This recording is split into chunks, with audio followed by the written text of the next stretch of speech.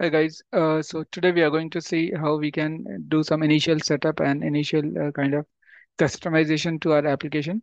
Okay, this is completely uh, this is completely blank scratch application, and we are going to do some you know some sort of setup and things. Kind of, uh, I mean, uh, we are just going to do some logo setup and everything.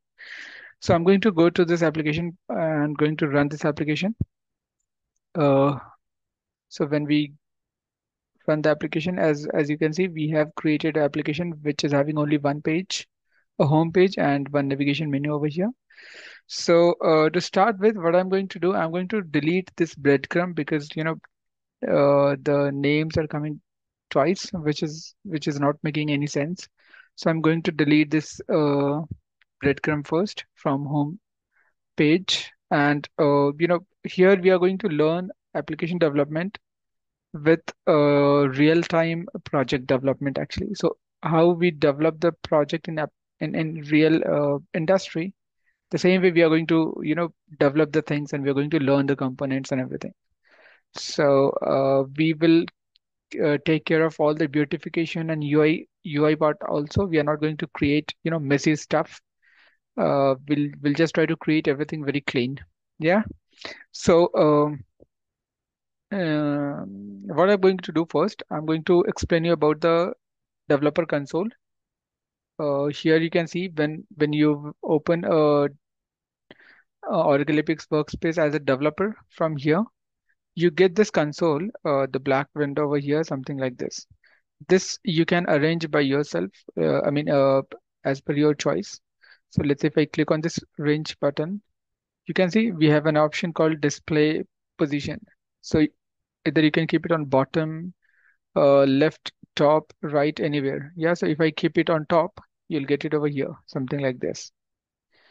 And if I keep it uh, left, you'll get over here, something like this, right?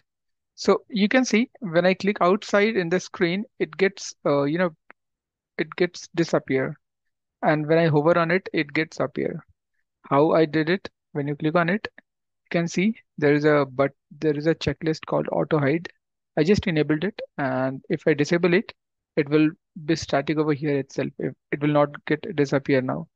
But if I want to get it disappeared, I'll just have to check it.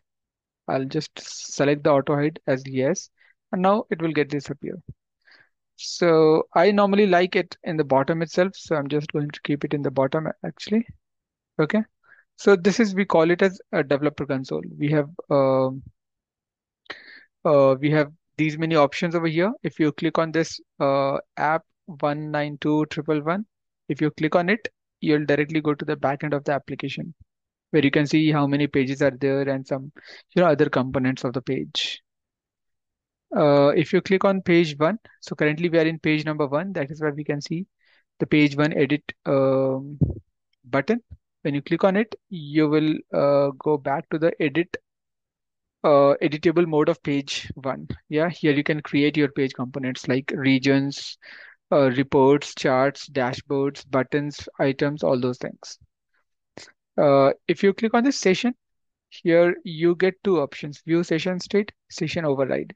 So when you click on view session state, if you have done any, you know, you have created items or you are just trying to get some value in your session, those things can be visible over here.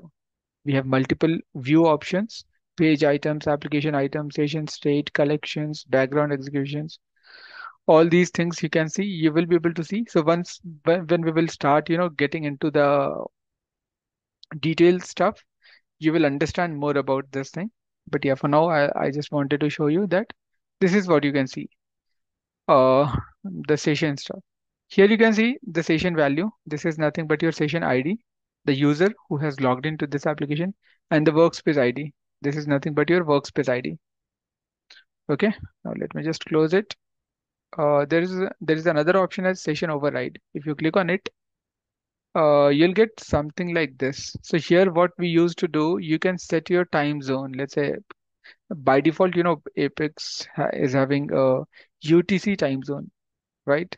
But if you want to set it to your uh, regional time zone, you can do it. From here, you can select the the time zone and you just have to click it on, make it on. Yeah. and uh, doc uh, document directions by default we get from left to right if you want to make it right to left you can do it from here default language is English if you want to you know apply some other language you can you know you can try translation. We have an option to translate this entire application. We will learn it later but yes all these things are possible.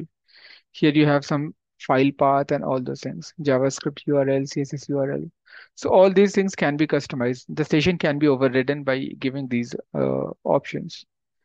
Okay now if you go to debug here you have two options. View debug and enable debug. By default you know default debug is always on. You don't have to enable it. If you want to full trace uh, you can just enable it from here but the default debug will always be on so, and that default debug can be seen from here. If you click on it uh, whatever transaction you're doing you get if you're getting in any error in the transaction you'll get the you know get the message over here in the debug. And you will be able to get into the debug part and you'll be able to solve the problem. So all these things you'll uh, you'll get if you get any you know uh, let's say you have written on uh, onload process. When page is getting loaded a process is running. And in that process you're getting some error. That error can be found over here.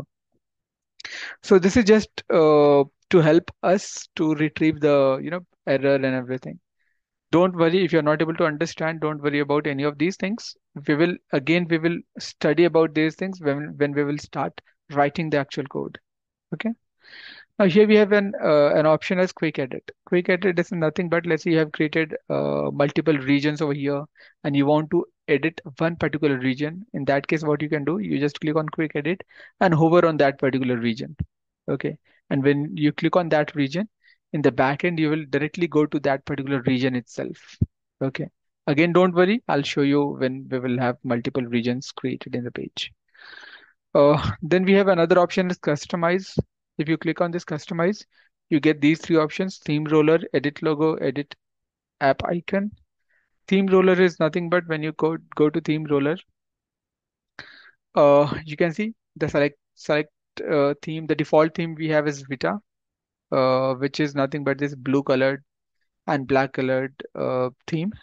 If you want, you can, you know, uh, change your theme. Let's say if I select Vita dark, you'll get something like this. If you select Vita red, you get something like this. If you select Vita Slate, you get something like this. So whatever is your favorite, you can try, uh, you can just apply that theme and you can start developing the application. There is a there is another theme as Redwood Light. If you select this one, you get, uh, let me just select the Redwood Light and make it and save it and refresh this page. So when you select Redwood Light, you get something like this. This is default Ap uh, Apex or Oracle, you know, native uh, theme. So if you want Oracle native theme, you can try this Redwood uh, Light. Okay.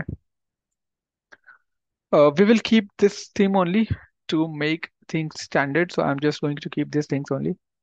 Okay, so that's about theme roller. Yeah, here one more thing.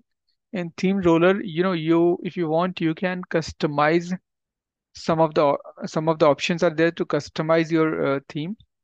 Okay, here in Redwood theme, we have less uh, number of options, but if you switch to, let's say, Vita, you'll get a lot of options. Global color, then containers, then navigation menu.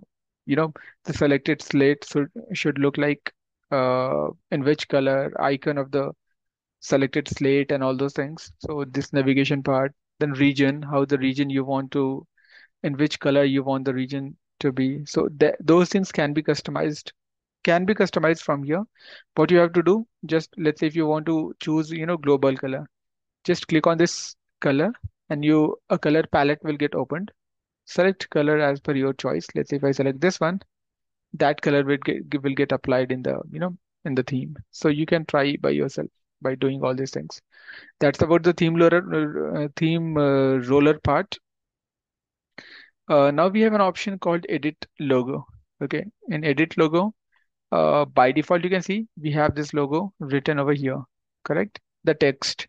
If you want text with icon, just, or if you want only icon, only image, just select image and uh, drop an image over here. if you have any image in your local database a local uh, folder just uh, you know drag and drop or choose the file from here and set. Okay if you want image with text you can again you can you know do this thing. You'll get an image and you get the writing also. If you want custom means if you want to write your css and html to get that logo and everything you can you can do that also. For now what i'm going to do i'm going to take this one image and text.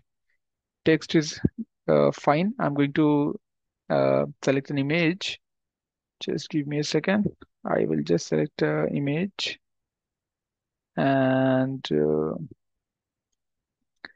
let's say if I select this one which is one of my old picture. And just save it. So you can see on the left side you get this you know uh, image right? So I'll, I'll just save it. It got saved. Let me close it and you can see we have an image and uh, the application name of the application. So this is how you can set your logo right? Edit app icon. App icon is nothing but uh, if you go to this app icon. Okay so before going to this place I will show you. Let me right click and open it in another window. Here you can see we have this application code with Saurabh where uh, the app icon is this one okay?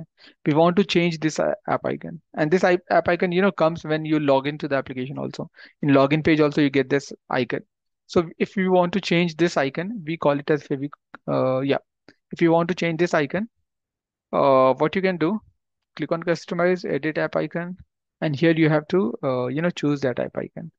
So I'm going to choose the same one what I have uh, sorry. Uh, upload new icon. Okay. So you just have to drag and drop over here. You get get the app icon. Click on save. And your app icon will, will get changed. So as soon as your app icon will get changed you can see this logo will also get changed. Here also you'll get the app icon logo. So your entire favicon and, and everything got, got changed. Now if you'll come to this place and you'll try to refresh this page you find that you got a new icon over here. And along with this now let's say if I log out. And log in here also you can see you got a new icon. So this is very uh, you know interesting and very good. If you want if you're creating any any of the application just try doing all these things first before starting to the application before start developing components of the application. Okay so it it makes your uh, application uh, better in, in terms of look wise yeah? So this is our application. Ready. Fine. So this is kind of initial setup I wanted to do. Uh, will come up uh, in another tutorial. We will start working on the page components. That's for this one. I hope you have enjoyed the video and uh, let me know if you have any feedback or any suggestion. Thanks for watching. Thank you. Bye